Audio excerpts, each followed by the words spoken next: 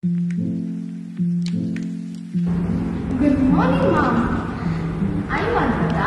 I'm Anik. And I'm Manu. We are from. Goenka Signature School. We made this project, which is gesture control and manual controlled robot car. This is the Bluetooth modulator. This is the Arduino. This is the L298 motor driver, and these are some 12 volt batteries. The Bluetooth modulator gets instructions from the user and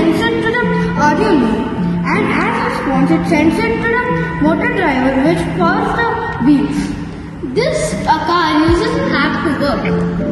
Uh, the gesture control is done by changing the mode, and the manual control is done by doing the same.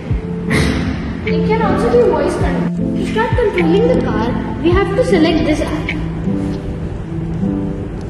After selecting, we have to go into this control tab. And we select the Bluetooth car remote tab option. Now we should we have to allow the Bluetooth. Now it will work. Over here we have a gesture mode and the manual mode that we have currently selected.